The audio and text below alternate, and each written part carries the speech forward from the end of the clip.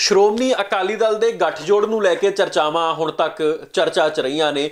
ਲਗਾਤਾਰ ਕਿਆਸ ਰਹੀਆਂ ਲੱਗਦੀਆਂ ਰਹੀਆਂ ਨੇ। ਲਗਾਤਾਰ ਸਵਾਲ ਪੁੱਛੇ ਜਾਂਦੇ ਰਹੇ ਨੇ।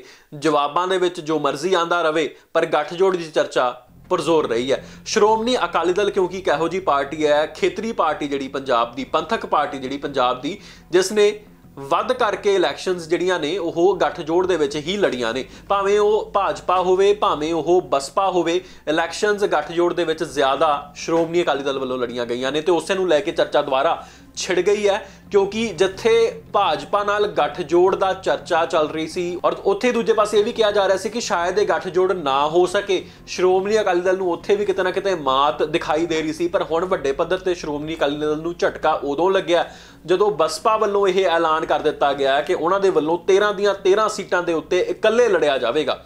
ਯਾਨੀ ਕਿ ਬਹੁਜਨ ਸਮਾਜ ਪਾਰਟੀ ਜਿਹੜੀ ਹੈ, ਜਿਹੜੀ ਕਿ ਅਜੇ ਤੱਕ ਸ਼੍ਰੋਮਣੀ ਅਕਾਲੀ ਦਲ ਦੇ ਨਾਲ ਗੱਠਜੋੜ ਦੇ ਵਿੱਚ ਸੀਗੀ ਉਸ ਵੱਲੋਂ, ਯਾਨੀ ਕਿ ਬਸਪਾ ਵੱਲੋਂ ਹੁਣ ਇਕੱਲੇ ਹੀ 13 ਦੀਆਂ 13 ਲੋਕ ਸਭਾ ਪੰਜਾਬ ਦੀਆਂ ਸੀਟਾਂ ਦੇ ਉੱਤੇ ਚੋਣ ਲੜਿਆ ਜਾਵੇਗਾ। ਇਸ ਬਾਰੇ ਜਾਣਕਾਰੀ ਪਹਿਲਾਂ ਤਾਂ ਬਸਪਾ ਦੇ ਪੰਜਾਬ ਦੇ ਸਕੱਤਰ ਮੱਖਣ ਸਿੰਘ ਔਰ ਨਾਲ ਦੀ ਨਾਲ ਬਸਪਾ ਦੇ ਆਗੂ ਜਸਵੀਰ ਸਿੰਘ ਗੜੀ ਵੱਲੋਂ ਵੀ ਸਾਂਝੀ ਕੀਤੀ ਗਈ ਹੈ। ਤੁਹਾਨੂੰ ਦੱਸ ਦਈਏ ਕਿ ਮੱਖਣ ਸਿੰਘ ਵੱਲੋਂ ਸਾਫ਼ ਤੌਰ ਤੇ ਕਿਹਾ ਗਿਆ ਹੈ ਕਿ ਅਜੇ ਤੱਕ 6 ਮਹੀਨੇ ਹੋ ਚੱਲੇ ਨੇ। ਸ਼੍ਰੋਮਣੀ ਅਕਾਲੀ ਦਲ ਨੇ ਬਸਪਾ ਦੇ ਨਾਲ ਇੱਕ ਵੀ ਮੀਟਿੰਗ ਨਹੀਂ ਕੀਤੀ ਹੈ ਔਰ ਨਾ ਹੀ ਇਸ ਬਾਰੇ ਚਰਚਾ ਹੋਈ ਹੈ ਕਿ ਆਖਿਰ ਸੀਟਾਂ ਦੀ ਵੰਡ ਲੋਕ ਸਭਾ ਚੋਣਾਂ 'ਚ ਕਿਸ ਤਰ੍ਹਾਂ ਹੋਣੀ ਹੈ। ਕਿਉਂਕਿ ਅਜੇ ਹੁਣ ਲੋਕ ਸਭਾ ਚੋਣਾਂ ਦੇ ਵਿੱਚ ਕੁਝ ਹੀ ਸਮਾਂ ਰਹਿ ਗਿਆ ਹੈ ਤੇ ਪਾਰਟੀਆਂ ਜ਼ਾਹਿਰ ਤੌਰ ਦੇ ਉੱਤੇ ਮੀਟਿੰਗਸ ਦੇ ਵਿੱਚ ਰੁੱਝ ਗਈਆਂ ਨੇ।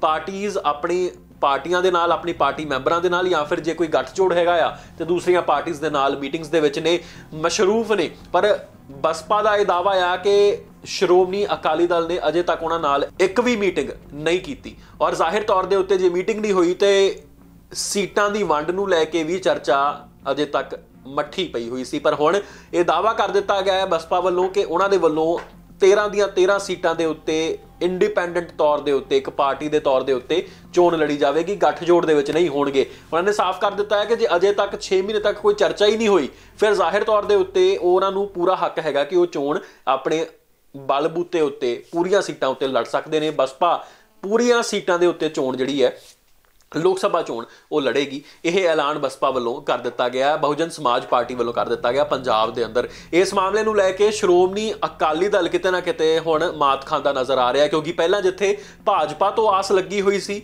ਭਾਜਪਾ ਵੱਲ ਵੇਂਦਿਆਂ ਵੇਂਦਿਆਂ ਬਸਪਾ ਨੇ ਵੀ ਹੁਣ ਪੈਰ ਪਿਛਾਂ ਮੋੜ ਦਿੱਤੇ ਨੇ।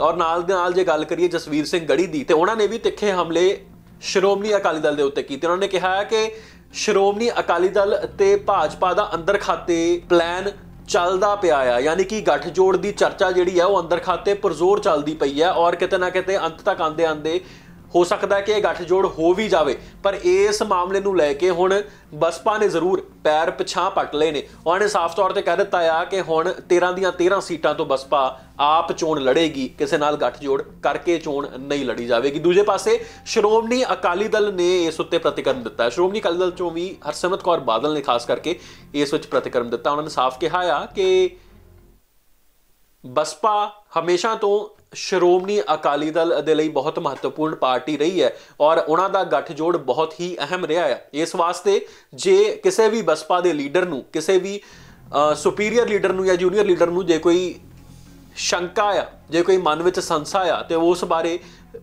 ਸ਼੍ਰੋਮਣੀ ਅਕਾਲੀ ਦਲ ਦੀ ਲੀਡਰਸ਼ਿਪ ਨਾਲ ਗੱਲ ਕਰਨ ਤੋਂ ਗੁਰੇਜ਼ ਬਿਲਕੁਲ ਨਾ ਕਰੇ। ਯਾਨੀ ਕਿ ਗੱਲ ਕਰ ਲਵੇ ਆ ਕੇ ਜੋ ਗੱਠਜੋੜ ਜਿਸ ਤਰ੍ਹਾਂ ਹੈਗਾ ਉਸੇ ਤਰ੍ਹਾਂ ਬਰਕਰਾਰ ਹੈ। ਹਾਲਾਂਕਿ ਦੂਜੇ ਪਾਸੇ ਬਸਪਾ ਨੇ ਐਲਾਨ ਕਰ ਦਿੱਤਾ ਕਿ 13 ਦੀਆਂ 13 ਸੀਟਾਂ ਤੋਂ ਆਪ ਚੋਣ ਲੜੀ ਜਾਵੇਗੀ। ਹੁਣ ਸ਼੍ਰੋਮਣੀ ਅਕਾਲੀ ਦਲ ਦਾ ਭਵਿੱਖ ਇਸ ਵਿੱਚ ਕੀ ਕਹਿੰਦਾ ਆ? ਉਸ ਦੇ ਉੱਤੇ ਸਵਾਲ ਖੜੇ ਹੋ ਰਹੇ ਨੇ ਕਿ ਆਖਿਰਕਾਰ ਸ਼੍ਰੋਮਣੀ ਅਕਾਲੀ ਦਲ ਹੁਣ ਕਿਸ ਰਾਹ ਦੇ ਉੱਤੇ ਪਵੇਗਾ? ਭਾਜਪਾ ਦਾ ਹੱਥ ਫੜੇਗਾ? ਭਾਜਪਾ ਹੱਥ ਫੜਾਏਗੀ? ਪਰ ਦੂਜੇ ਪਾਸੇ ਬਸਪਾ ਨੇ ਜਿਹੜੇ ਪੈਰ ਪਿਛਾਂ ਮੋੜੇ ਨੇ, ਉਹ ਦੁਬਾਰਾ ਵਾਪਸ ਆਉਣਗੇ ਜਾਂ ਨਹੀਂ? ਜੋ ਵੀ ਹੋਏਗਾ, ਆਉਣ ਵਾਲਾ ਸਮਾਂ ਦੱਸੇਗਾ ਉਦੋਂ ਤੱਕ ਲਈ ਬਣੇ ਰਹੋ। One India Punjabi. Subscribe to One India channel and never miss an update.